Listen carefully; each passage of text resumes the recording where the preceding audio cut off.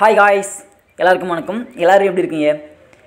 ரொம்ப நாள் கழிச்சு கிட்டத்தட்ட ஒரு பதினஞ்சு நாள் ஆச்சு வீடியோ போட்டு ஐ மீன் பேசி வீடியோ போட்டு. நிறைய பேர் வந்து ஏன் பேசாமல் வீடியோ போடுறீங்க அப்படின்னு சொல்லிட்டு நிறைய பேர் கமெண்ட்ஸில் சொல்லிட்டு இருந்தீங்க. ஸோ ஃபஸ்ட் ஆஃப் ஆல் எல்லாருக்குமே என்னுடைய பெரிய சாரி சொல்லிகிட்டு இருக்கேன். ரீசன் என்னென்னா நான் மேட்ச்சுக்கு போயிட்டு வந்ததால் எனக்கு அது டைம் சுத்தமாக கிடைக்கல.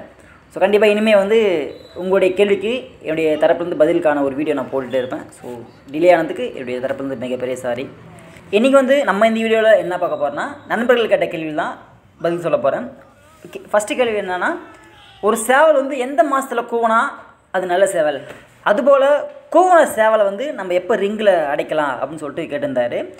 இதுக்கு என்ன என்னோடய தரப்புலனா ஒரு சேவல் வந்து ஏழு மாதத்துலேயே கோவிலாம் ஆறு மாதத்துல கோவிலாம் ஒரு சேவல் வந்து பன்னெண்டு மாதத்துலையும் கோவிலாம். ஸோ அதனால் இந்த மாதத்தில் இப்போ பதினோராவது மாதம் ஏழாவது மாதம் ஒன்பதாம் மாதம் இந்த மாதிரி ஒற்றைப்படை மாதத்தில் போனா நல்ல சேவல் ரெட்டைப்படை மாதத்தில் போனா சேவல் சண்டை போடாது. இந்த மாதிரிலாம் சொல்லிட்டு யாராவது உங்களுக்கு கதை உருட்டினா எதுவும் நம்பாதீங்க. ஒரு சில சேவலாம் பார்த்தோன்னா பதிமூணு மாதம் நீமில் வந்து கூவலாம். ஸோ அது கூவுற தன்மை வந்து அதனுடைய இப்போ அது கூட இருக்கிற சேவலை பொறுத்து தான் ஓகேவா? ஏன்னா அதனுடைய அப்பன் அதனுடைய ஜோழெல்லாம் கூடவே இருக்கும். அதனால் சேவல் வந்து தனியாக போயிட்டு கூவத்துக்கு வந்து வாய்ப்பு கிடச்சிருக்காது. அதனால் சேவல் கூவம் ட்ரை பண்ணாது. இந்த மாதிரிலாம் நிறைய நடந்திருக்குங்க. அதுபோல் கூவன சேவலை நம்ம எப்போ ரிங்கில் அடைக்கலாம்னா இப்போ ஃபார் எக்ஸாம்பிள் வந்து ஒரு பத்து மாதத்தில் சேவல் கூவுதுன்னா ஒரு ஒரு மாதம் சேவல் வந்து ஃப்ரீயாக விட்டுருங்க.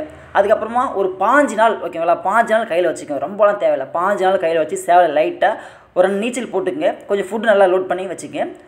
ஃபஸ்ட்டு டப்னியை பாருங்கள் ஃபஸ்ட்டு டப்னி வந்து ஒரு ஏழு நிமிஷம் எட்டு நிமிஷம் பாருங்கள் திருப்பி ஒரு ஒன் வீக் கழிச்சு ரெண்டாவது டப்னியை பாருங்கள் ரெண்டாவது டப்னி வந்து ஒரு பத்து நிமிஷம் பாஞ்சு நிமிஷம் பாருங்கள் திருப்பியும் ஒரு டென் டேஸ் ஃப்ரீயாக விட்டுருங்க. டென் டேஸ் ஃப்ரீயாக விட்டுட்டு மூணாவது டப்பிங் பார்த்தோன்னா முழுக்க பார்த்துருங்க. ஓகேங்களா இதில் பார்த்தோன்னா ஒரு சில லைனேஜ் சேவலுங்க பார்த்தோன்னா ஃபஸ்ட் டப்னிங்லேயே அதனுடைய ஸ்டைலிஷான சண்டையை நமக்கு காமிச்சு கொடுத்துரும்.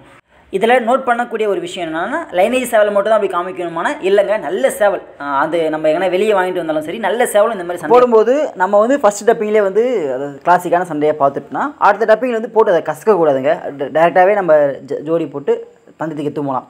உங்களுக்கு நம்பிக்கையாக இருந்தால் அந்த சேவலை பார்த்தோன்னே உங்களுக்கு பிடிச்சிருந்தா நீங்கள் அந்த மாதிரி பண்ணலாம்.